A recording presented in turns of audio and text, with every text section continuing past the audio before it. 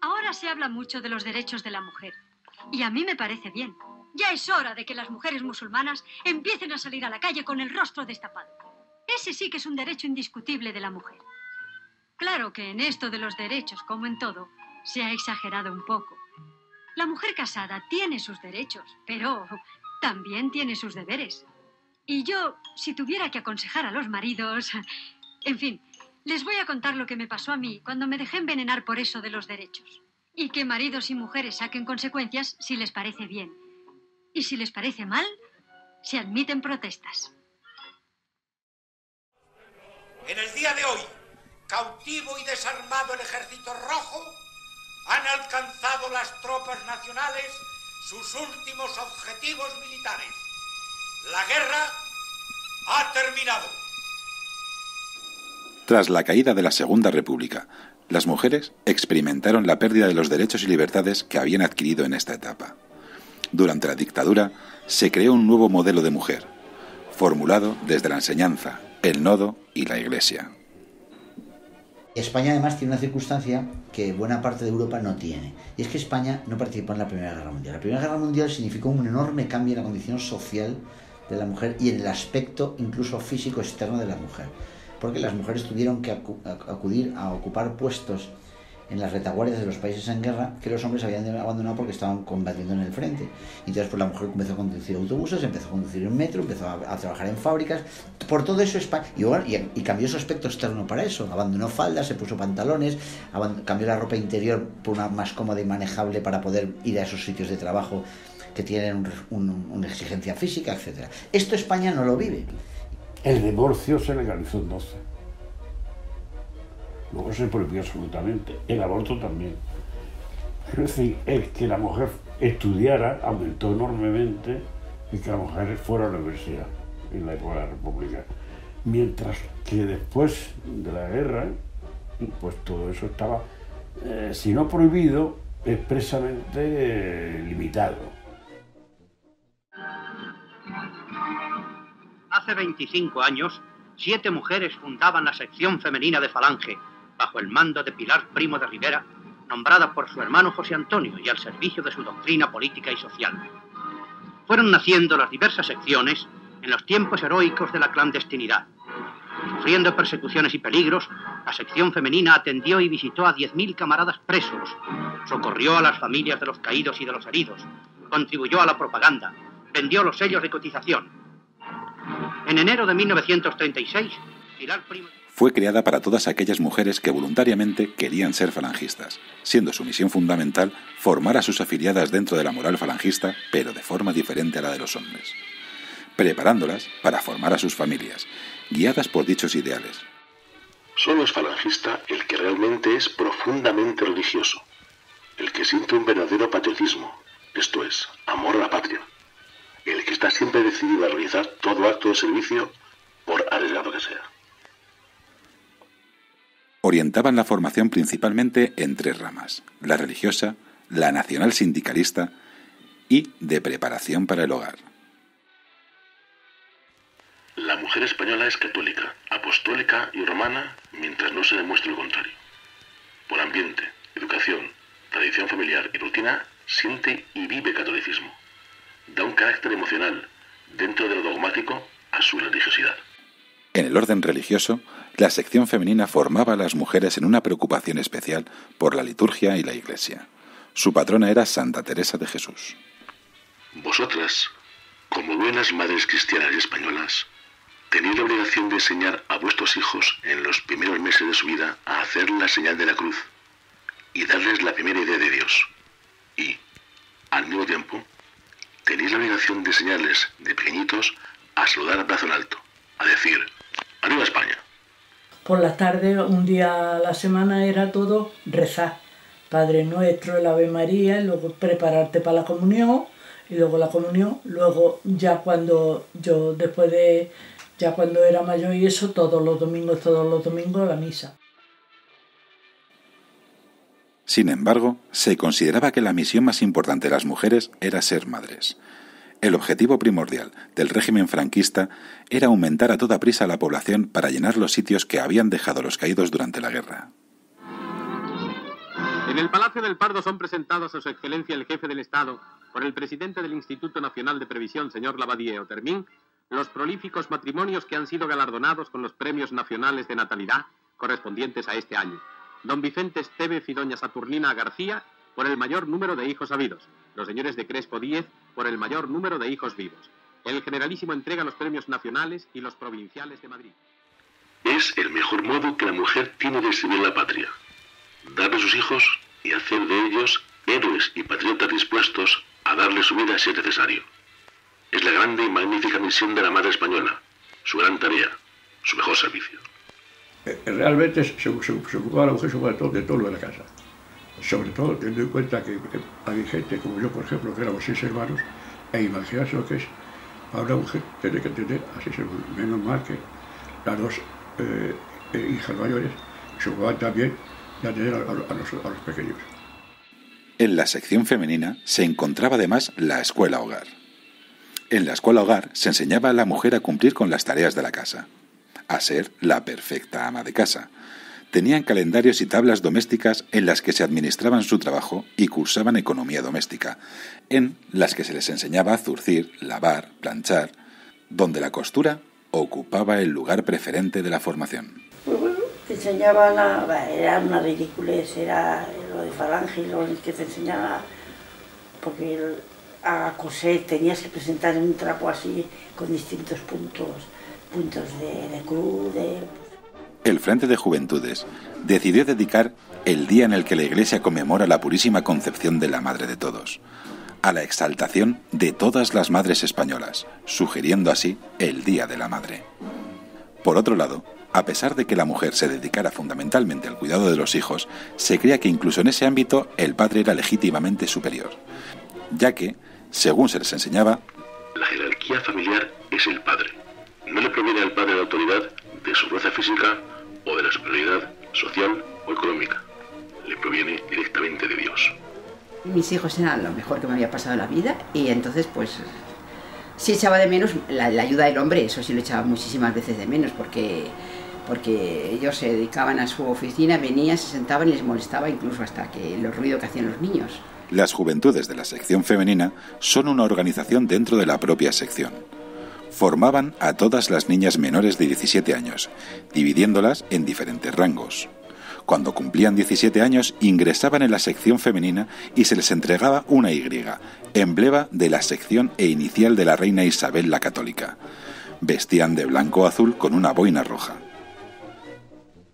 Tanto unas como otras reciben una formación destinada a modelar su cuerpo y espíritu para que, cuando sean mayores, puedan fundar una familia ejemplar y servir eficazmente a los destinos de España. Además de toda esta formación, la sección se preocupaba de educar a las mujeres en sanidad e higiene del cuerpo a través de la educación física. Jugaban al baloncesto, danza y folclore, hockey, hípica, llegando a instaurar los primeros Juegos Universitarios Nacionales, cuidando siempre la vestimenta, reduciendo lo más mínimo posible el uso de pantalón y con muchas limitaciones a los escotes. La silueta debe ser sencilla y lo más ajustada posible al natural, bien evitando que el vestido sea tan ceñido que señale toda la anatomía del cuerpo, porque esto, además de antiestético, es inmoral. Promovía también lo que llamaban la gimnasia casera de las labores del hogar. Una mujer que tenga que atender a las faenas domésticas con regularidad tiene ocasión de hacer tanta gimnasia como no la había nunca, verdaderamente si trabajase fuera de casa.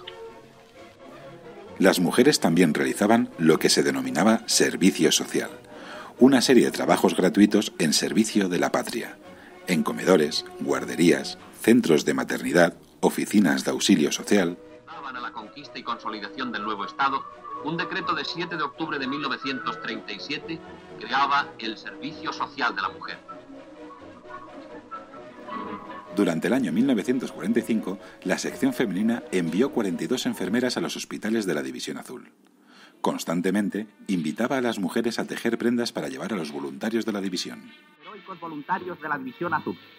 Manos femeninas colocan primorosamente los diversos obsequios destinados a los legendarios héroes que en las heladas tierras de Rusia conquistan nuevas glorias para la patria. Separada de la sección femenina, la educación impartida por las familias desde las casas y en los colegios a aquellos que podían acceder a la educación era muy diferente para chicos y chicas. Lo que refiere a las cosas principales era totalmente distinta.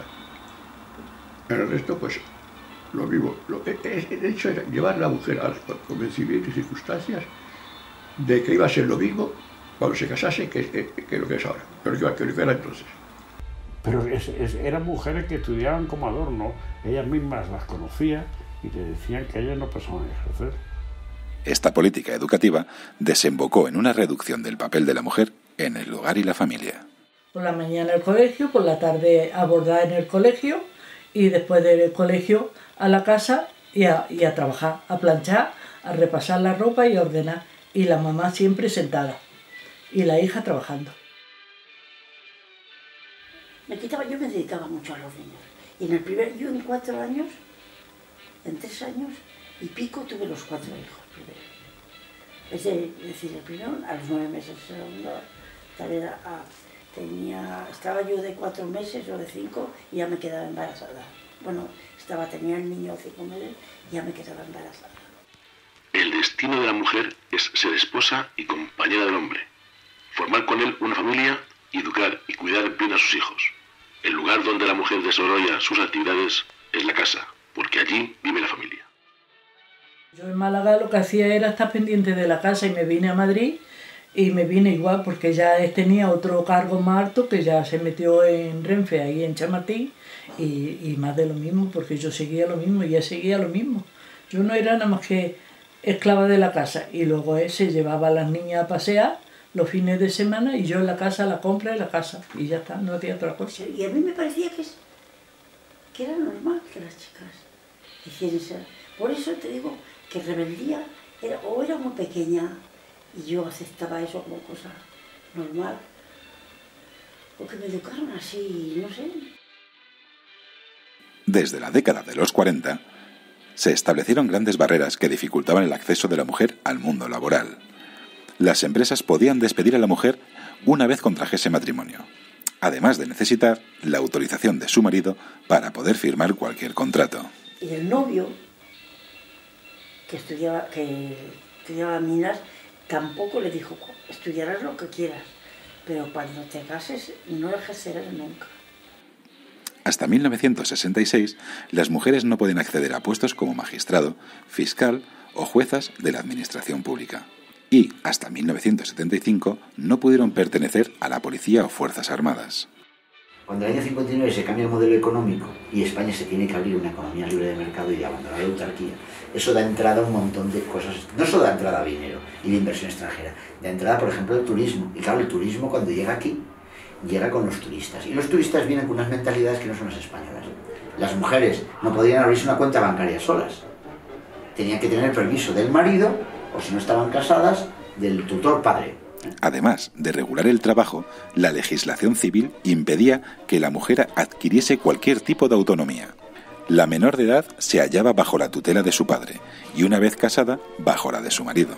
La llamada autorización marital impedía a una mujer abrir cuentas bancarias, realizar operaciones de compraventa o elegir una profesión y ejercerla sin la autorización de su marido. No sabía ni, ni el dinero que había ni lo que ganaba siquiera. Nunca me he enterado de lo que ganaba. Los guardianes de la moral de la mujer, de la chica o de las hijas, eran los padres y los hermanos, los hermanos varones. Cuando estéis casadas, pondréis en la tarjeta vuestro nombre propio, vuestro primer apellido y después la partícula D seguida del apellido de vuestro marido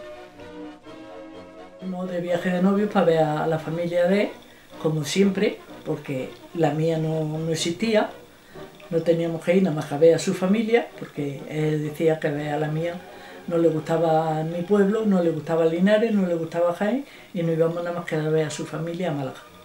Y ya está.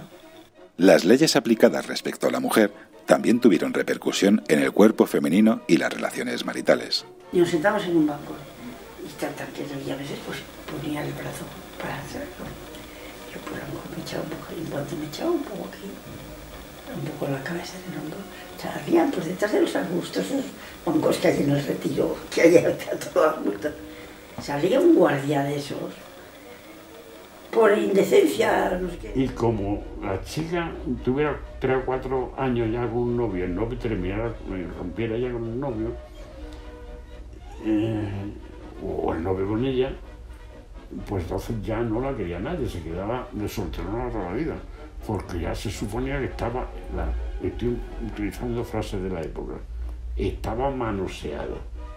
El Código Penal castigaba con pena de prisión toda acción o propaganda que facilitara el aborto o evitara la procreación. Sin embargo, si este aborto se producía para evitar una deshonra familiar, como que la mujer se encontrase soltera, las penas eran menores.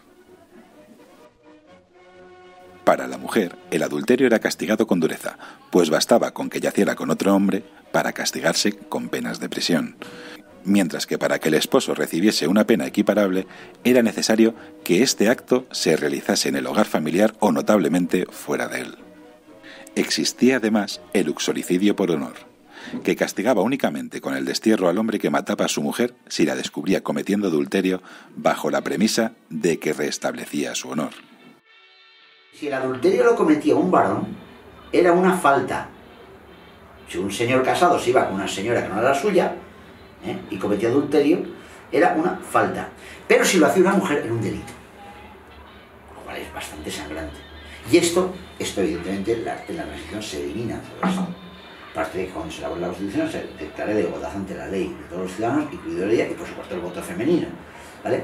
Pero eh, estamos en los años 70, en los años 80, y esto poco a poco va a tardar en cambiar. Evidentemente la legislación de la transición en España se homologa muy rápidamente en cuestiones relativas a la mujer, se homologa muy rápidamente al resto de Europa. Se produjo una especie de reacción, sobre todo la gente joven, de cambiar la vida, cambiar la vida. La búsqueda de una igualdad ante la ley fue una de las primeras premisas de la sociedad demócrata que empezó a construirse tras la muerte de Franco, comenzando a percibirse poco a poco cambios en la situación de la mujer. Nota el cambio porque nota que hay mucha más libertad, mucha más se pasa la mano más por las cosas y antes estabas completamente metida en un puño, que no podías ni respirar, porque, porque, porque te salían policías y te salían cosas por todos sitios. Y ahora ya, bueno, ya después cuando ya nos vinimos a Madrid, teníamos más libertad, ya cuando él se murió, yo ya salía, entraba, iba con mi hija a este lado al otro y ya, me, ya tenía yo libertad, pero entre Franco y mi marido, una esclava toda la vida. La transición permitió el crecimiento del movimiento feminista, cuya presión permitió que en la Constitución de 1978 ya se contemplase la no discriminación por razón de sexo. Era impensable un hombre con un coche de niñas, por Dios. Entonces, ahora sí que digo que es, efectivamente ellos se han perdido muchísimo. Nosotros hemos ganado quizá un poco más de libertad, pero no creas que hemos ganado tanto, porque éramos súper felices, la verdad. Sí, el que, el que se lo estaba perdiendo era el hombre. Revela que este país está dividido, sigue estando dividido. Es decir, que las heridas de la guerra no se han, no se han suturado. Cuando Dios dice, no se puede hablar. No se puede hablar de esto porque esto es abrir la herida. Los señores, las heridas están mal cerradas, son purulentas. Y entonces hay que abrir las heridas para curarlas.